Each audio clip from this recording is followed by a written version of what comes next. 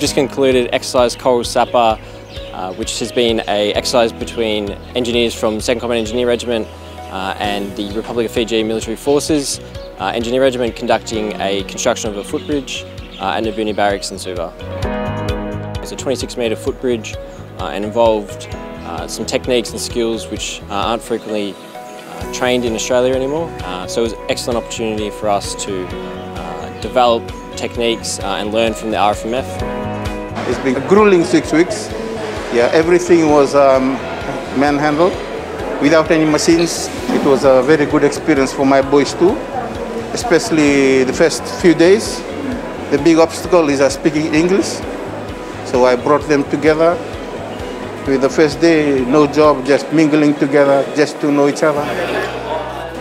So this is how special they are. We came over at three o'clock in the morning just to farewell them. Whilst working with the Republic of Fiji Military Forces engineers, we've built some friendships that hopefully will last a lifetime. Um, it's been really good to build those bonds with them on the work site. Uh, we got along with them really well, lots of laughter and fun was had.